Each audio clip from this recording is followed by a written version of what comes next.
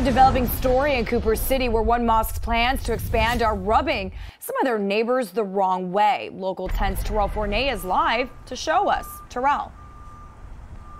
And this issue will be debated this evening here at City Hall. But the plan to build this new temple has actually been in the works for years. Let's show you this video starting with this rendering. The Nur Ul Islam wants to build a, a new three story school building and a mosque with three minarets. Now, minarets, those are those towers typically constructed atop mosques that traditionally are used to call for Muslim prayer.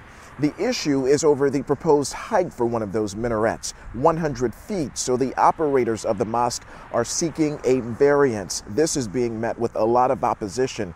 The project, though, is slated to grow the current home and site of the mosque near Sterling Road in Southwest 106th Avenue in Cooper City. The plan was originally approved by Broward County years ago, but the land has since been annexed into Cooper City and the deal timed out. Still, mosque leaders have agreed to uh, various drainage and traffic improvements to that area. And the city's own Planning and Zoning Board, they have given an official recommendation to pass this measure. Out live now here outside of uh, Cooper City.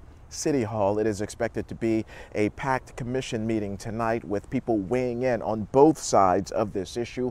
We will be inside for it all and have the very latest for you later on tonight on Local 10. That's the latest live from Cooper City. Terrell Forney, Local 10 News. Okay, look forward to hearing your report later. Thank you so much.